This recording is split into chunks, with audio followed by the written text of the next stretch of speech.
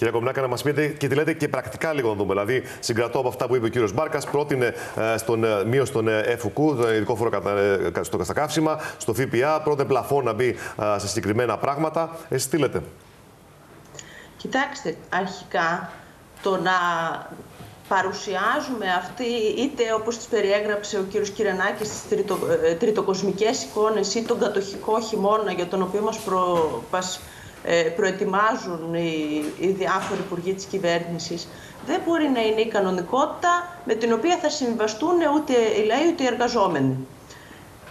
Όμως αυτή την κανονικότητα δεν είναι ένα φαινόμενο ούτε προσωρινό, ούτε που έρχεται, αν είναι εύκολο να μου βελτιώσει την επιστροφή, γιατί... Θα το φτιάξουμε, συνεχίστε, εμείς σας ακούμε κανονικά.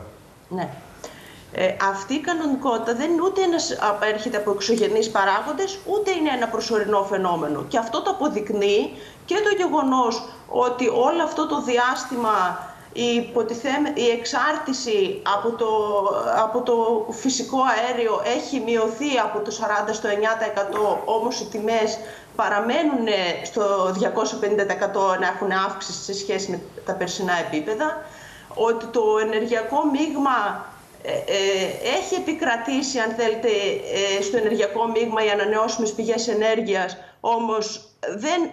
δεν οι τιμές... Είναι ζητούμενο αυτό. Γιατί υπάρχουν και αντιδράσεις. Ε, Όμως αυτά, παρουσιά, ναι, αυτά που παρουσιάζονται λοιπόν ως στόχου και Μακάρι να επικρατούσαν, αλλά είμαστε μακριά. Ε, ε, όχι, δεν είναι μακριά στα, σε σχέση με τα, τα ποσοστά ε, της ηλεκτροπαραγωγής υπερισχύει. Όμως αυτό αποδεικνύει ότι δεν έχει σε τίποτα μειώσει τις τιμές. Γιατί; Γιατί η λεγόμενη πράσινη μετάβαση σε καμιά περίπτωση δεν πρόκειται να εξασφαλίσει φτηνό ρεύμα για το λαό. Αντίθετα, η κατάσταση της ακρίδιας επιδεινώνεται από την πολιτική της απελευθέρωσης της ενέργειας, από το χρηματιστήριο ρήπων, αυτό για τα οποία βέβαια μπορεί σήμερα να εξεγείρεται ο ΣΥΡΙΖΑ, όμως είναι ο ίδιος που έβαλε τη χώρα στο χρηματιστήριο ενέργειας, που στήριξε και στηρίζει και δεν το αμφισβητούν ε, την πολιτική της απελευθέρωσης, της πράσινης μετάβασης κλπ, την οποία την πληρώνει πανάκριβα λαός. Και αν πραγματικά η χώρα μας θα μπορούσε να έχει μια εντελώς διαφορετική κατάσταση στο επίπεδο της ναι. τιμής της ενέργειας, όπως ισχυρίζεται ότι έχει ο κύριος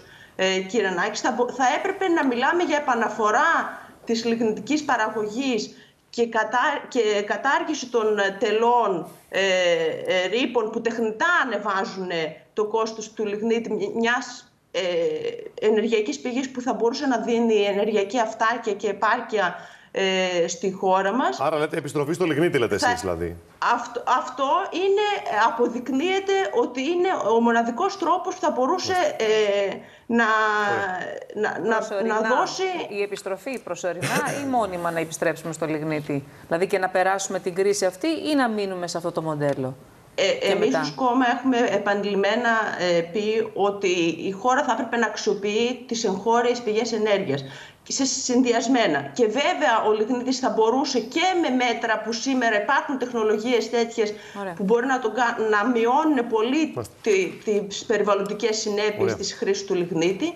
Και βέβαια και στις σημερινές συνθήκες δεν μπορεί να συζητάμε ότι θα συνεχίσει να υπάρχει αυτή η τεράστια έμεση φορολογία ΦΠΑ στο ρεύμα και στα καύσιμα θα έπρεπε να καταργηθούν και να καταργηθούν βέβαια και τα διάφορα χαράκια. Να καταργηθούν θα... πλήρως, λέτε, γιατί ο κύριος Μπάκας είπε να μειωθούν. Εσείς λέτε να καταργηθούν. Μι, ε, λέμε να καταργηθούν γιατί είναι άδικοι φόροι που εκτινάσουν την τιμή της ενέργειας και που καταλαβαίνετε ότι την πληρώνουν πολύ ακριβά τα, ε, εκείνα τα λαϊκά στρώματα που δεν έχουν. Σύντομα... Και αν ναι. θέλουν να φορολογήσουν, υπάρχουν. Ε, να μπορούν να καλύψουν τα φορολογικά έσοδα, αν θέλουν, από αυτούς που Επειδή μα πιέζει και ο χρόνος, κύριε Κομνάκα, να απαντήσει σύντομα ο κύριος Κυρανάκης για να προχωρήσει.